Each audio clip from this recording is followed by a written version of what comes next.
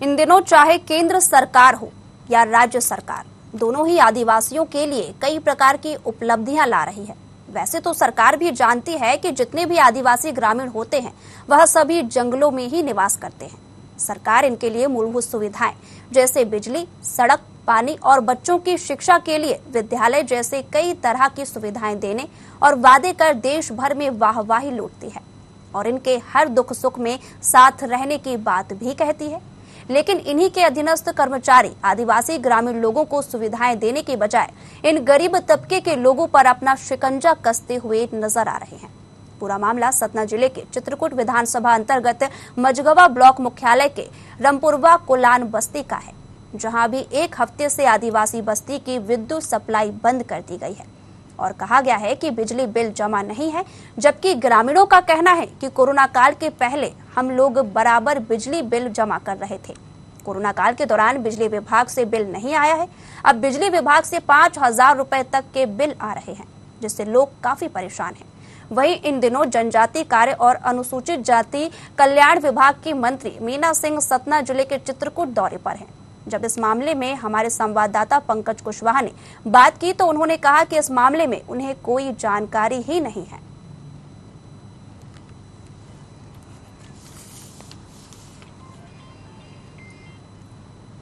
से लाइट बोल है। तो क्या करें? बिछी साफ़ कते देर है या? है हाँ तो ऐसे लाइट काट दी गई है तो कुछ समस्या तो है ही है कौन काटने आई थी लाइट? अब विभागे की होंगे लाइट काटने वाले हम तो जा नहीं सकते। लाइट ना होने से क्या क्या दिक्कत आ रही है? अरे बहुत अब ये पहाड़ जंगल है तो साफ़ बिछी। तो दिक्कत तो है या बरसात का भी सीज़न है? अस्सी रुपया की। और लड़का बच्चन का पढ़ली थन। और बताओ हमें जंगल में है ना बताओ हमें सांपो खाए बीची खाए। आ, बताओ अब तुम करावना के वहाँ बताओ पंद्रह सौ रुपया बिल भेजते हो पंद्रह पंद्रह हज़ार। तो कहाँ से हम दे पाओ जब तुम्हें इतनी दिक्कत आई है तो तुम ना लगाओ क्या?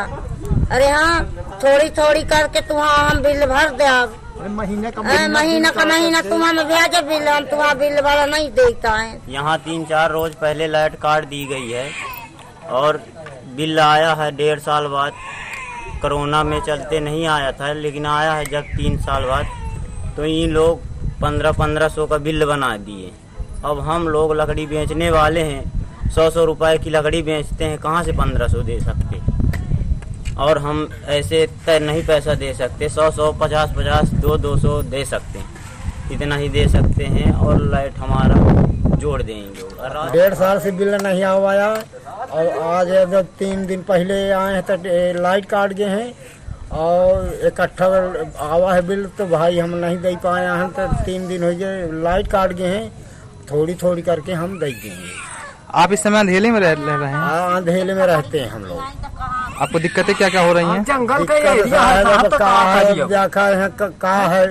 न मच्छर खात अब देखिए इसके ऑथेंटिक जानकारी मुझे दे दीजिए तो मैं उसकी जाँच करवा लूँ अब मझगावा का ही गाँव रामपुर कुलाल बस्ती। के कोई उल्लेख में कैसे मानोगी? या तो कोई किसी का आवेदन हो तो आप मुझे दे दीजिए मैं पता कर लूँगी उस गाँव को कि।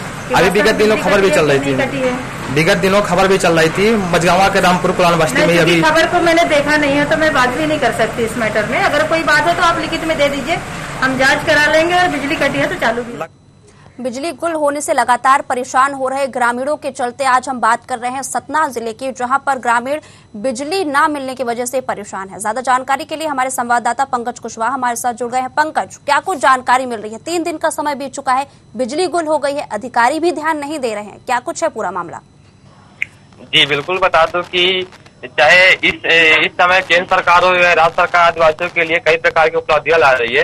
वैसे तो सरकार भी जानती है कि जितने भी आदिवासी ग्रामीण होते हैं वह अधिकतम सभी जंगल में निवास करते हैं। सरकार इनके लिए मूलभूत सुविधाएँ जैसे बिजली सड़क पानी व बच्चों के शिक्षा के लिए विद्यालय जैसे तमाम प्रकार की सुविधाएँ देने के वादे कर, करती है। और देश भर में वाहवाही भी लुटती है लेकिन झंडोरा पीटती है। और इनके हर दुख दुख सुख में साथ रहने की बात कहती है लेकिन इन्हीं के अदृष्ट कर्मचारी आदिवासी ग्रामीण लोगों को सुविधाजनक काम करने की वजह इनको ग्रामीण तबके के लोगों पर अपने कसते हर समय तमाम नज़र आते रहते हैं। अभी हाल ही में कोरोना वायरस के कारण ग्रामीणों के तबके के लोगों के पास खाने पीने तक के लिए लाले पड़े थे। पूरी तरह से बेरोजगार हो गए थे। सब अपना काम धाम छोड़कर पैदल ही घर की ओर चल पड़े थे। जैसे कि रस्ते कर कर किसी प्रकार कर रहे थे कोरोना वायरस की तबाही के ग्रामीण अंचल के लोग अभी पाए थे। ये अब इस बरसात के समय पर विद्युत विभाग के द्वारा इन आदिवासी लोगों के घरों की विद्युत सप्लाई बंद कर दी गई है जिससे इनकी पूरी बस्ती के घरों में रात में अंधेरा रहता है। इन्हें और इनके बच्चों को रात में जंगली जानवर और सांप जैसे जही जंतुओं का खतरा भी बना रहता है। बिजली सप्लाई बंद होने से बोरवेल भी नहीं चलता जिससे पूरी बस्ती में पानी की भी किल्लत बनी हुई है। यहाँ के लोग पास ही की नदी से या कुआँ से लाकर गंदा पानी पीते हैं जिससे इनके छोटे छोटे बच्चों को भी भयानक बीमारी जैसे खतरा बना रहता है। जी पंकज लगभग कितनी आबादी रहती है इस बस्ती में कुलान बस्ती जिसकी हम बात कर रहे हैं?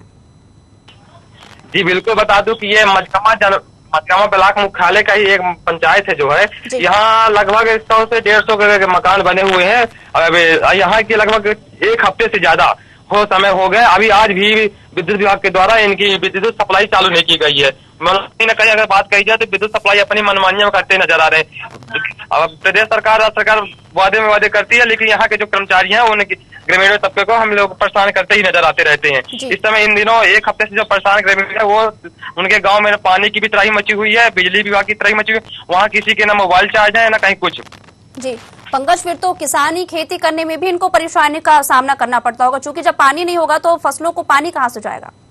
जी जी, बिल्कुल बिल्कुल, क्योंकि आदिवासी जो लोग होते हैं, अधिकतम वो सब जंगलों में ही निवास करते हैं, और जंगलों में उनका पूरा भरण पो- पोषण होता है। वो जंगलों से ही लकड़ियाँ बेचते हैं उसी से उनका जीवन यापन होता है, और वही खेती बाड़ी करते हैं। अब जंगल में रहने करते अब वहाँ बिजली सप्लाई जब बंद हो गई तो वहाँ ना उनके पास पानी जा रहा, ना सिंचाई के लिए कोई साधन है, क्योंकि जब बिजली नहीं रहेगी तो मोटर पंप कैसे चल पाएँगे?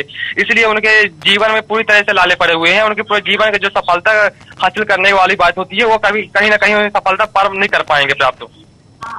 जी पंकज, बहुत बहुत शुक्रिया आपका तमाम जानकारी देने के लिए। तो आपको बता दें कि बात कर रहे हैं मध्य प्रदेश के सतना ज़िले के, जिसके अंतर्गत मझगवा ब्लॉक मुख्यालय के अंतर्गत रमपुरवा कोलान बस्ती आती है, जहाँ पर लोग, ग्रामीण जो हैं, जो बिजली की समस्या से परेशान है। हमारे साथ विद्युत विभाग के रवि मिश्रा डी ग्रामीण जुड़ चुके हैं। रवि गुप्ता रवि जी बहुत बहुत स्वागत है आपका एमकेन में। क्या कुछ परेशानियाँ उठानी पड़ती हैं आपके ग्रामीण क्षेत्र में बताइए। मैडम मैं मजगावा से बोल रहा था। मजगावा मजगावा ब्लॉक भी है। जी। और ये तहसील भी है यहाँ ये तहसील भी है। यहाँ पे एक, एक गाँव है ब्रह्मपुरवा कुलान। जी। जहाँ पे आदिवासी बस्ती है। इन आदिवासी बस्ती की संख्या लगभग चालीस है। जी। ये करीब पंद्रह दिन पहले यहाँ के विद्युत विभाग ने लाइट काट दी थी। और कारण ये था कि उन्होंने बिल नहीं जमा किया था। तो ग्रामीणों का कहना ये था कि जो ये बिल है आप छह महीने बाद इकट्ठा दिए हो। हम आदिवासी हैं हम कहाँ से बिल दे पाएँगे? इसको उन्होंने ये कहा कि आप थोड़ा थोड़ा करके ले लो। विद्युत विभाग से बोले तो उन, वो लोगों ने नहीं माने और उनकी बिजली काट दी। जी। अब जब बिजली काट दी तो वो अंधेरे में रहने को मजबूर हैं और बहुत बुरी तरह परेशान है मैडम वो। जी। बिल्कुल। रवि, ये बताइए कि जिस तरीके से बिजली काटी गई, पहले क्या डेढ़ साल का समय बीत चुका है कोरोना के चलते? पहले बिजली का बिल कभी नहीं आया क्या? या फिर डेढ़ साल बाद जो बिजली का बिल आया एकदम से 1500 2000 की रेट में यहाँ पर बिजली का बिल जो है वो उपलब्ध करवाया जा रहा है यहाँ पर ग्रामीण क्षेत्र को? जी मैडम, क्या है कि बिजली का जो बिल है, इनको एकदम से इकट्ठे तर इकट्ठे मिल गए हैं। यानी कि जो इनको का बिल आता था, इनको पंद्रह किसी को दो हज़ार, किसी को ढाई हज़ार इस तरह करके बिल दे दिए गए हैं जिससे ये आदिवासी बिल देने में असमर्थ हैं। क्योंकि इनकी कमाई लकड़ी है ये लकड़ी बेच के जी रवि बहुत बहुत शुक्रिया आपका तमाम जानकारी देने के लिए क्योंकि ग्रामीण परेशान तो है। हमारे साथ विद्युत विभाग के रवि मिश्रा जुड़ गए रवि जी बहुत बहुत स्वागत है आपका एमकेन में। रवि जी क्या कुछ कहेंगे मामले में? चूँकि ग्रामीण बहुत परेशान है क्योंकि यहाँ पर पाँच दिन का समय बीत चुका है, बल्कि और ज़्यादा ही हो चुका है। ग्रामीणों का कहना है कि यहाँ पर बिजली की उपलब्धता ना होने के चलते काफ़ी परेशानी हो रही है। सर, आदिवासी एरिया है, लोग परेशान है। आखिर क्यों ऐसे मुद्दे आ रहे हैं वापस वहाँ पर?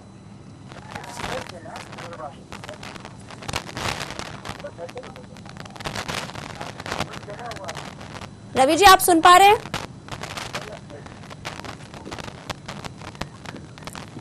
रवि जी? रवि जी से हमारा संपर्क नहीं हो पा रहा है, फिर से संपर्क करने की कोशिश करते हैं। तो आपको बता दें कि मध्य प्रदेश के सतना ज़िले में कुलान बस्ती है, जहाँ पर लोग काफ़ी परेशान हैं। सिर्फ़ इस वजह से कि डेढ़ साल बाद जब उनका बिजली का बिल आया तो इतना ज़्यादा आया कि वो उसकी भरपाई करने के लिए सक्षम नहीं है। और लाजमी है कि आदिवासी बस्ती में रहने वाले तमाम ऐसे लोग, ऐसे ग्रामीण लोग, जिसे मूलभूत सुविधाएँ नहीं मिलती हैं, लेकिन बावजूद इसके यहाँ पर लोग परेशान नज़र आ रहे हैं।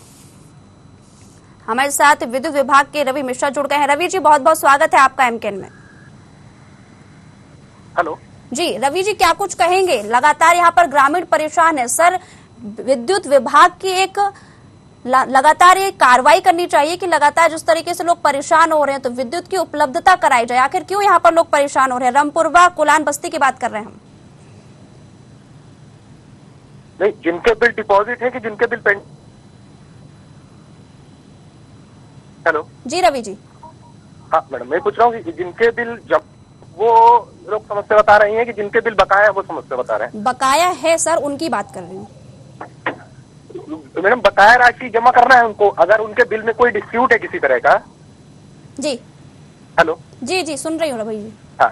जि- अगर उनके बिल में किसी तरह का डिस्प्यूट है तो वो कार्यालय में आवेदन देकर उसे सुधरवा भी सकते हैं। जी लेकिन रवि जी डेढ़ साल बाद जब एकदम से यहाँ पर ग्रामीण क्षेत्र के लोगों को बिल थमा दिया जाएगा पंद्रह सौ हो गया या फिर एक हज़ार हो गया दो हज़ार हो गया कितना भी हो गया लेकिन सवाल ये उठता है कि आखिरकार आदिवासी क्षेत्र में रहने वाले लोग इतने पैसे लाएँगे कहाँ से? क्योंकि एकदम से अगर किसी चीज़ की व्यवस्था करानी हो तो लाजमी है की बिजली की उपलब्धता ना होने के चलते काफ़ी परेशानियों का सामना करना पड़ रहा है यहाँ पर। पंद्रह सौ रुपए का है। जी। आज उनकी व्यवस्था है कि साहब तीन सौ सकते हो। वो व्यवस्था भी दे रखी है हमने। समन्वय की कमी कहाँ आ रही है रवि जी? समन्वय कमी पहले ये बिल तो इनको डिस्ट्रीब्यूट कई साल नहीं हुए होंगे पहले। जी।